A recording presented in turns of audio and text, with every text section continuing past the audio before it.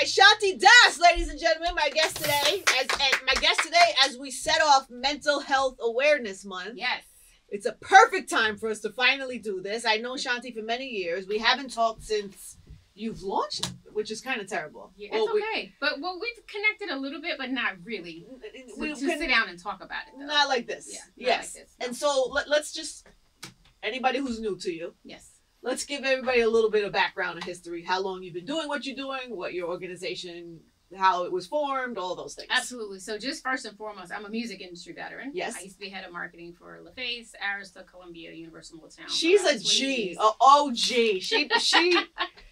Yeah, go ahead. We- you we- weren't just like some old. Ah, thank you. You know what I mean? I appreciate that. You got credits. You got cr- big credits. that means a lot. yeah. But I went through my own challenges, Angie, um, when I was in the business, and I really we didn't talk about mental health or anything. I know it's so crazy how like like, at all. It was hashtag Team No Sleep, and then we got celebrated the more you know we worked and, Yeah. and all that good stuff. But anyway, so I walked away as executive vice president at Universal Motown in 2009.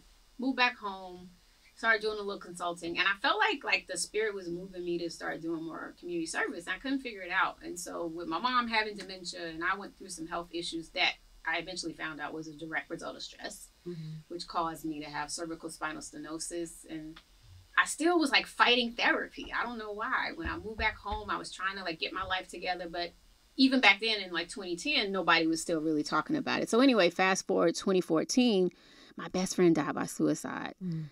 And I had talked to her the day before. Mm. So like I blamed myself that next year and kind of went on a downward spiral. And then in 2015, I came close to taking my own life, and Mm. really, really close. And uh, not proud of it, but not ashamed about it. Mm-hmm. So I got the help that I needed. And then I was doing a radio interview in Atlanta and it kind of rolled off of my tongue. I was like, yeah, you know, I don't know why we're so ashamed of talking about it. We just need to silence the shame. And then I was like, wait a minute, let me put my little marketing hat back on. And there, then and there it is. it started as a movement. And then we started our own day. I just made up in 2017. I said, I'm going to make May 5th National Silence the Shame Day and see if a few people will post on IG. Girl, we got like 90 million impressions in one day. And a lot of people, you know what's interesting is, and I won't say any names, but some big name executives over the last couple of years have come up to me and said something. I said, You follow me? And they were, mm-hmm. Oh, yeah, I know all about what you're doing. So it made me feel good, even though they weren't commenting, that they Uh-huh. actually saw what I was doing and it was helping them. yeah. Oh yeah, because you know. I mean, I understand. Yeah, why. I understand why. The Yeah. lifestyle that it takes, that it requires to operate at that level for so long. 100%. There's so much of yourself that you don't take care of and Mm-mm. you know talk about, and everybody has to be strong and put on a and face all just the toxic time. environment. The toxic you don't really know environment. like who really talking to you because they love Ange or they like you know what I'm saying want to talk to Angie Martinez. Mhm. You know, and you have to battle that constantly. So anyway, I knew that we had something after that day. So I started the we got the 501c3. We started doing community conversations, small conversations, big conversations, 10 people, 100 people. I started reaching back into the music industry, getting artists to be on panels and I just created this new niche for myself. And now, like, we're one of the most commonly used hashtags in communities of color. We have our own podcast. We've served over 65,000 people just in terms of getting awareness out. We've won awards from the American Psychiatric Association, NAMI, the National Alliance on Mental Illness. I was. Um, How long? How many years has this been? it's now? been five years Wow. as the organization, Mhm. but I've been doing it seven years since I almost started taking my own life. And um, like in the pandemic, Essence named me a mental health essential hero, and I humbly say all of that because it's like we just been quietly doing the work. Yeah. And now I think since the pandemic, it's all it's in your face. Yeah. No matter if you're a mother, a parent, teacher, a music industry executive, Oh, or yeah. artist or whatever, we're all going through stuff right now. Mhm. Yeah, So, for sure. Here we are. That's unbelievable. The fact that you, because you know, we all get little callings in our life, little Yeah. moments. We go through stuff, and you think, oh, maybe I should need to make a change. And some people do, and some people don't. Some people are scared to make a change. You 100%. know, all of those things. The fact And that you you, know- had enough insight to like follow that kind of calling. it was humbling. And I don't know if you know, but I lost my sister three years ago Mhm. unexpectedly, and that really like set me back. And she was about to become a therapist because we Oh. have another family member, so you know that suffers, and so we were both trying to help. And I feel like I do this work because of her. But to your point though about seeing a calling and not sure if you should take it, like it was scary, you Mhm. know, and nonprofit is more of a humble lifestyle. You know, I can't Right. really go get the red bottoms like I used to and everything. Yeah. I still like nice stuff, but I went from being in this, you know, lavish lifestyle to just a life of humility. Mm, But more importantly, we're saving lives. yeah. Like You really feel it the too, ROI right? for me for doing this work and changing my life is somebody's mother calling me and saying my son's in therapy because you saved his life. Him hearing you speak and you being so transparent, or my husband's now open to getting help for all of us. Like that's the legacy that I want to leave. Like I Mhm. love that I have a legacy of working with Outkast and Usher and Toni Braxton and Prince and all of them. But when you talk legacy, like that dash, Mhm. this is it. And I was like, okay, God, I'll I'll do it. But now he's like, he's being real fly because I'm trusting him, but he's allowing me to be on the Angie Marsh show. Oh, stop. and no, I'm serious. I'm on the today was you know. I did the Breakfast Club, Mhm. and you know it's mental health. You know what I mean? It ain't necessarily sexy. These are hard conversations, but he's allowing me to step back in those circles, Circles. and I'm grateful. Yeah, but you also it's like, and, and this I I credit you with this. Um, it's a it's an easier conversation. It's not it's not foreign to people. It's not weird to people. It's not foreign to people. I think if ever people have been comfortable to talk about it, it's now. I mean, I'm sure there's still some discomfort for a lot of people, Sure. but it's I mean night and day, and you have to feel proud of being part of that. I am, especially our community. That's what right? I, And that's what I'm talking about. I'm talking about our community for Yeah. sure. Thank you for that. But you have to feel. I mean, come on. I do. I mean, you have to take some credit for that. You've been so, and you were early. It wasn't like you jumped on a bandwagon or. yeah. By the way, it's not a bad. Listen, it's not too late for anybody who wants to do that work. 100%. There's nothing wrong with getting on Yes, this bandwagon whenever, whenever you get on it. But what is the? I don't know. What is the most powerful message you think that is being communicated throughout this to people, like, or that you've learned, or wow. or that I you've mean, seen resonate with people? Yeah, I think one of the most powerful things, especially for our young people, is knowing that it's okay to talk about it when it's not okay.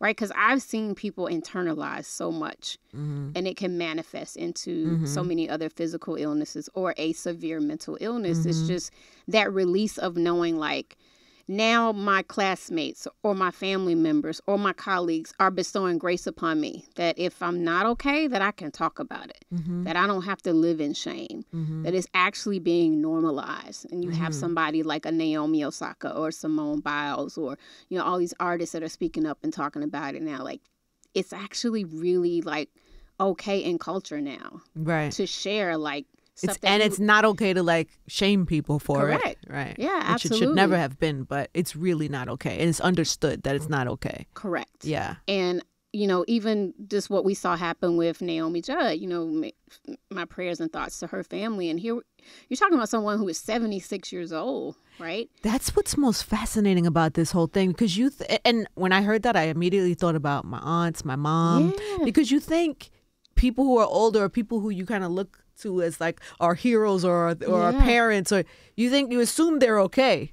You should never assume they're okay. Never Naomi assume. Judd was very open about her. She was, especially dealing- in the last like five to six years. she talked talking about, dealing it. with depression for many, many, many years. So maybe her family knew that that was always a you know. A, But let's take it a step further to our community, like Shakir Stewart, you know, Chris Mhm. Lighty, Fred Thomas, and I don't bring up their names often, but I think it's important for us to call their names Mhm. and honor, you know, their lives, um, and be able to still celebrate them. and learn from them. Hundred percent. Yeah, for sure.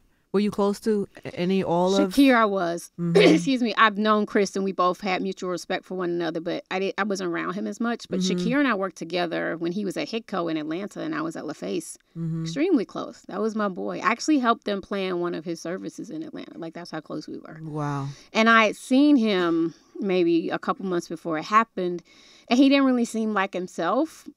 But that was even before I was dealing with my own emotions the way, excuse me, that I should have. And so I didn't know the signs to look out for. Mhm. And so, of course, I do this work for him as well now.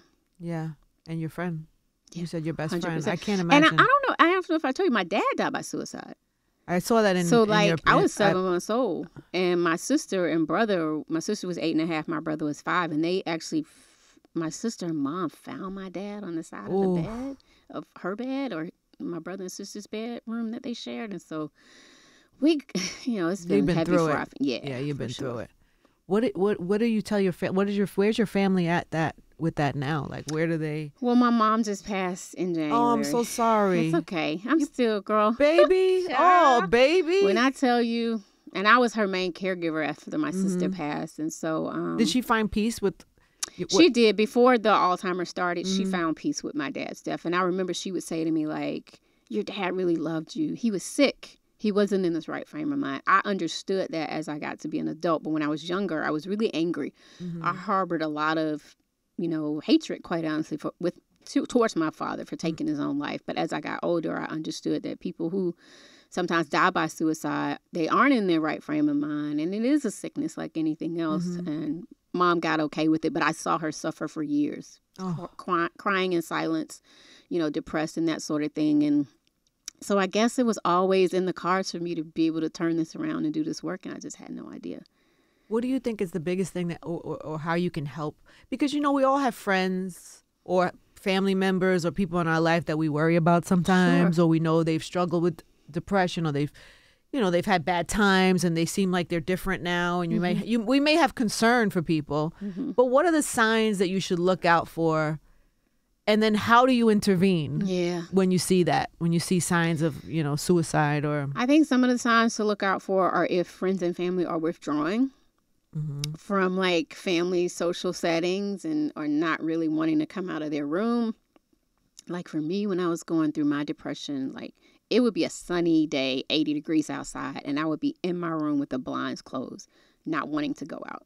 Friends would call and invite me places, and I would just turn them down. So if you have a child or a family member and they're just wanting to stay in their room and not come out, you need to talk about it and see what's going on. Or, you know, if they're feeling hopeless and just saying, like, I'm worthless, you know, I'm useless, or if they're losing a job and can't hold a job down and Mhm. doesn't seem to be motivated, right? So Mhm. that lack of motivation. Um, and I think some of the easiest things to do is to say, you know, when we talk to people and say, hey, how you doing? That's you just expect them to say, oh, I'm good. But say, no, how are you really feeling? Mhm. And I was talking about this earlier to someone. I think we need to start talking to our kids a lot younger too and getting them to understand what it means to share your feelings and that it's okay if you're not having a good day. And the most important thing is, excuse me, consistency.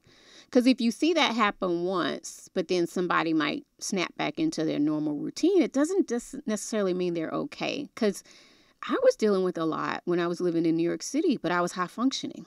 Mhm. So you got to really talk to people and talk to them on a consistent basis and really know your children, know your spouse, know your friends and check in with them on a regular basis. It Mhm. can't be something that you do and then just kind of ignore and say, oh, "Okay, they must be okay now." Mhm. But you don't know if they've really addressed it because they might have just suppressed those feelings and something else could trigger them where it actually comes out and manifests in a much worse way.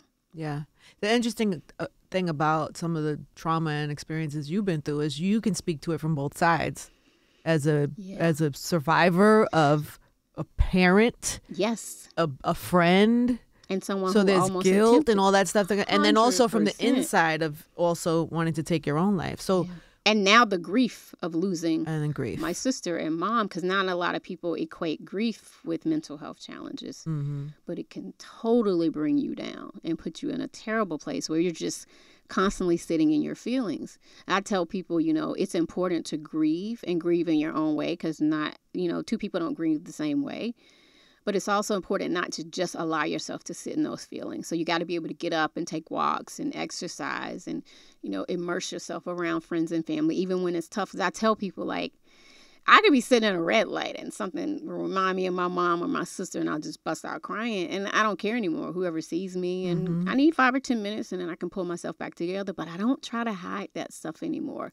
We have this new campaign that we just launched called Healing in Public, and that's what it's about. You know, we're all healing in public every day because we don't know what we're going through. Yeah. I don't know what you might be going through, and Yeah. you, you know. I'm I'm so thankful and grateful that you came out on the other side with your accident Thank you. but we're all still healing from something. Yeah. And we have to bestow grace upon one another to be able to heal in public. Mm-hmm. That's good. And what what what do you say as somebody who's experienced that type of not just the grief but uh, thoughts of suicide? What do you say to somebody who's dealing with that right now? Who woke up today and thinks maybe today is going to be the day? Like, what do you say to to that person? One thing I would say is suicide should not be an option for anyone, but I know sometimes it feels like it's an option.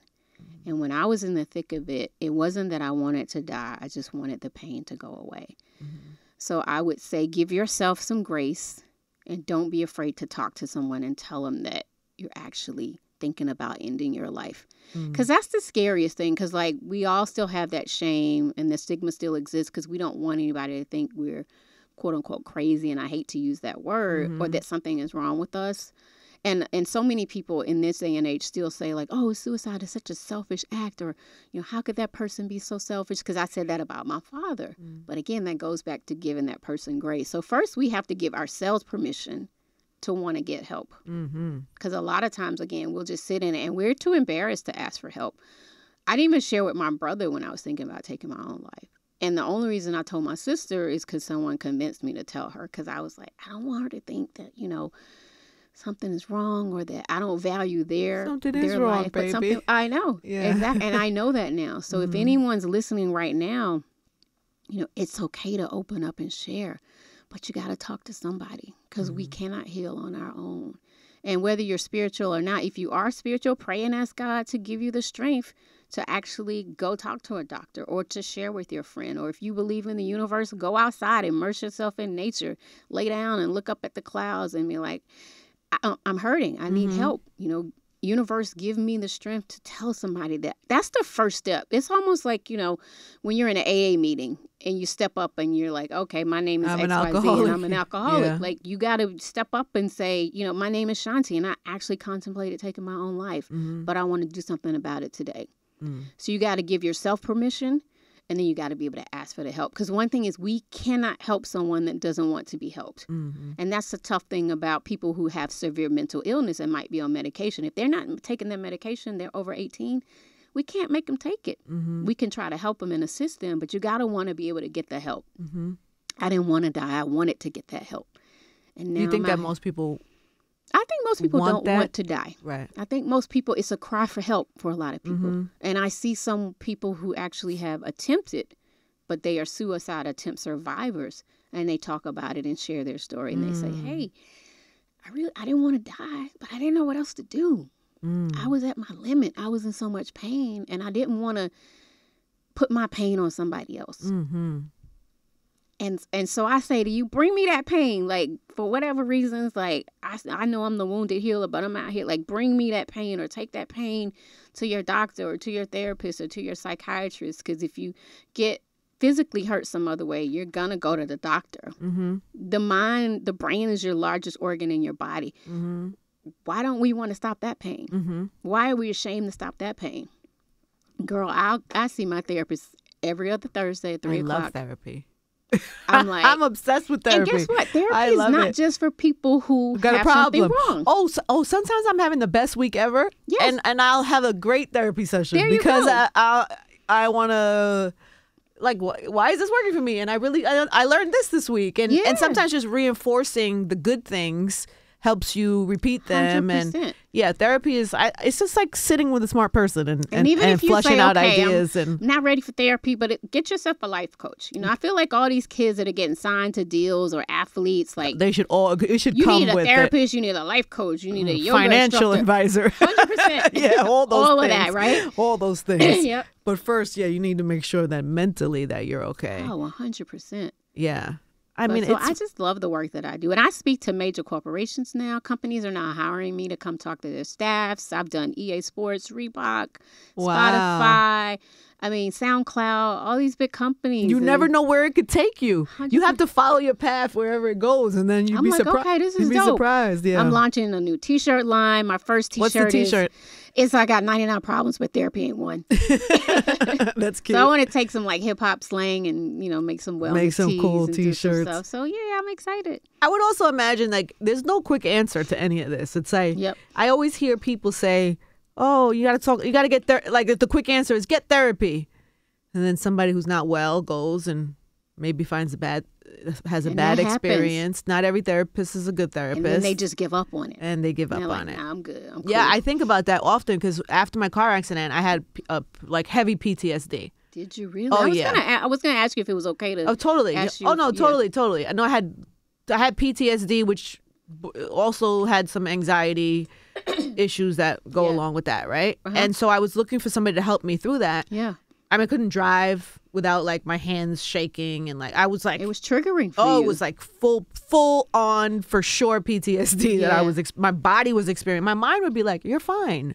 Why you've driven a thousand? You know, like I felt like I could talk myself back. Sure. but my body was. and it goes in fight or flight mode. it goes to fight or flight mode, right? Yeah. And so I had I had reached out to a couple of therapists that do PTSD, Mm-hmm. and I didn't connect with twice. I had bad therapy oh, twice. Oh, no. I don't want to say bad therapy, not good therapy for me. Correct. I I felt like the sessions weren't doing anything for Wasn't me moving the needle. wasn't moving the needle and i and i thought about people who were in worse situations than me and how how frustrating that would be mm-hmm. if i was suicidal Yes. which i was not but if i was and i went to find a therapist and it didn't work for me That's tough. how tough that could be and so i thought of people in that condition like wow you know i i was um, stable enough to know that okay i'm just gonna keep finding time i gotta fix this this is this is not the way i want to live the rest That's of my right. life i don't want to you your know point, not everybody is strong enough. I did, but it made me very mindful of how challenging that could be Mm-hmm. for somebody who goes to try or or gets a quick answer from somebody. Well, you need therapy.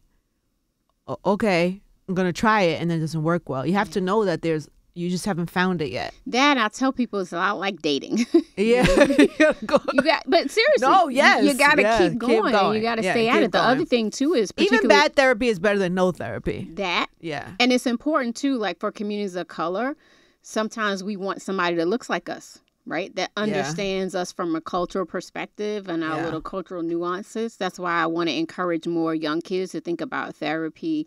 I mean, um, psychology and psychiatry as viable career options, right? Mm-hmm. Because we need more people that look like us that are helping us. mm-hmm. yeah, I get important. that. I get that, but it's not necessary to be able to. yeah, yeah. Absolutely not. Uh-uh. But sometimes I've seen that a lot of some of the younger people that I talk to, they want people who understand their Mm-hmm. culture. And so it's nice when you can find someone. So it's like great sites like Yeah. um, betterhelp.com, Psychology Today, and they ask you all these really key specific questions about what you're looking for, your sexual orientation. Oh, those are so good. they really break it down. Mhm. So if you want a specific therapist that looks a certain way, that understands things from a cultural perspective, you can get those from those sites. And NAMI.org is great. And of course, silenceforshame.com, therapy for black girls, therapy for men.org is some good stuff out there. Good. I would love to if you could just Yeah, give I'll us give like you those resources. that resource and that literature. We'll we'll put it up under the uh Yeah, under the I can email that over to you. Yeah. I mean, listen, just do something. Don't do nothing. That's right. You know I mean? or So- even you know there's support groups you know a lot of Uh-huh. times you know and if you're a student in school just don't be afraid to talk to the counselor because counselors aren't always therapists right usually um, most school systems have like one school psychologist for every 500 students but they'll have counselors or social workers that come to the school but or talk to your coach or you know you got to just be able to open up to somebody i tell people you know we're in basketball season it's the playoffs right now so before you hit the court you got to have five players to start the game but i say who's in your starting five we all need a starting five people that we can call on if something is wrong. Um, and then there's this other great organization called the Crisis Text Line Organization. If you're at home and it's three o'clock in the morning, you can't get to your parents or friends or colleagues, you can text the word silence, S I L E N C E, to 741 741. And you can actually text back and forth with a counselor for like 20 to 30 minutes. Wow. And then they'll, con- they're like crisis counselors, Mhm. and then they'll connect you to therapists in your respective region. It's a national organization. So It's Oh. a dope resource. It's confidential. It's 24 hours a day. Yeah, this is probably half your work too, right? Is is making sure people are aware of the Hundred percent. I have to push resources out. So Yeah. that's why, like, our silenceforshame.com page has a resource tab, and Yeah. we have a list of you know all these wonderful organizations that are out there doing the work. Because we're just an advocacy and awareness organization. Mhm. Like for example, we just um, celebrated May first in Atlanta, and we got the governor um, and Senator Anderson and a good friend of mine, Deanna Hamilton, made it happen. They designated May first as Black Children's Mental Health Day in the state of Georgia. Wow. So now we're trying to take it to other states and then take it to the federal level, and then maybe we can do one for you know Hispanic Children's Mental Health Day and, and all these other nationalities. Because I do think it's important that although there's a Children's Mental Health Day, from a cultural perspective, each culture brings different things that our kids go through Yeah, for right sure. so it's important that we stand up you know for our culture and make sure that we can create better outcomes Mm-hmm. and try to help erase these barriers to care because a lot of our kids can't afford insurance they don't have you That's the same income thing. level Therapy is expensive. It is. if you don't have the resources and you don't go that route. but I will say that New York City does a great job with providing resources for the community, and most major cities have what's called community service boards. So don't be ashamed to go to a community service board in your area because a lot of times they do offer free therapy, or some of the hospitals have psych wards, and they won't turn you away. You know, if Mhm. you don't have insurance. So it's like anything else; you got to do the work, do your Mhm. research, but Yeah. you you can find the access and support that's out there. Yeah, and also like if you haven't found, I always think this like even if I'm just to bring it down to a more simpler thing, Mhm. like if I'm having a bad day, you know, sometimes you're having a bad day, Yeah. and you just you're in it so deep. I I will tell myself, I just haven't figured this out yet. It's just even when whatever the worst thing is, I just haven't figured it out yet. Yeah. It's but I always give myself that that grace to know that there is an answer there. There is a fix to whatever the thing is. I just haven't gotten to it yet. Yeah. So you keep trying things until you get to it. That's right. It's just like a way to not um to give up on to not give up on yourself or to sit in something like you say to Yeah. sit and, and you might own just put little stickies on your wall like have these daily affirmations right Yeah. especially if you live alone and you're single you know you don't have kids you know you're by yourself a lot because you know I'm, I'm alone a lot um But is that a thing too that triggers maybe something oh for gosh, being women? in isolation is tough Mhm. too um that's why i make sure i surround myself with people that i love you know we have a great staff and we all understand each other and Mm-hmm. and i lean on them sometimes but i just encourage anybody to have somebody you can lean on get you an accountability partner get you a buddy Yeah. right that can help you out I love that. That's great info. We're gonna put a full list of um all the resources you have and okay how do we support you, Shanti? So today is National Silence the Shame Day. So we need all of y'all uploading your photos. Um, go to at Silence to Shame on Instagram and click in the bio, get your little photo frame, put your picture up, become a mental health champion, and help us to raise funds for our programs. Because I'll tell you, we're still a grassroots organization, but we need the money to hire the staff to sustain. So you can text the word silence to 707070, or you can go to our website, silencetheshame.com. And then we have our Brilliant Mind Gala coming up if you want to be a sponsor, be a part of it. Dallas Austin is the co chair. Q Parker is Mm. a part of it. We're honoring um, NFL player Chris Hubbard because we do a lot of work with um, athletes too. So Mm. I'm excited. Pecos, where you at? Get at me. I need to talk to your athletes, homie. I'm, I'm gonna stay on his ass for you. make yeah, sure. I need yeah. that. But yeah, just go to our site. And then more importantly, just, you know, be that change in your own household, in your own community, right? Mm. Silence the shame. Use that hashtag. You know, use that word, make it a part of your everyday vernacular and get out there and let's keep erasing shame and stigma so people can get the help that they need. This might be a, a way to, for you to open dialogue with somebody in your family, in your house. You post this, you start the conversation, and you help somebody open up to you about what you may be thinking is going on with them. Yeah, and if you have a story you want to tell and you you feel like you're at that point in your life where you want to share with others, you know, reach out to us. Like I mentioned, we have that new campaign, Healing in Public. So you can go to our site and reach out to us about that. But again, Love that. donate, text to give, silence to 707070. Do it today. We got you. We're all gonna do it. We We're all gonna do it up here. Thank you. It's so, good to see you. Congratulations on It's good to see everything. I mean, what amazing work. What amazing legacy work Thank you. that, you're doing. so I much should be really you. proud. I hope really. we can continue to do some stuff together. For sure. I'm here now. I don't know why this any, took so any long. events though, or you have my you you, you have Yeah. my info, like my cell. I have your cell. that? Yeah, yeah. Let's just just Let's stay in touch. Yeah, let's stay in touch and let's make sure this is not like a one-time special thing. Let's, I would love that. keep the convo going for sure. Thank you. Shanti Das, everybody. Angie Marr. I love saying 105.1. Angie Marr.